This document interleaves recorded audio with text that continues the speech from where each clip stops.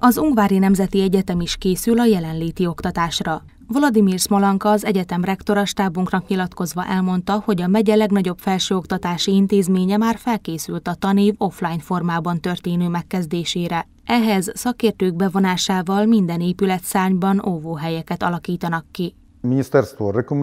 A minisztérium javasolja az offline oktatást, viszont azzal a kitétellel, hogy az oktatás olyan létszámú hallgatóval és tanárral történhet, ahányan elférnek a rendelkezésre álló óvóhelyeken vagy az erre a célra kijelölt alaksori helyiségekben, amelyek képesek védelmet biztosítani egy esetleges bombatámadás során. Gyakorlatilag minden épületünkben van óvóhely, amelyeket most rendbe hozunk. Állíthatom, hogy többségük nagyon jó állapotban van,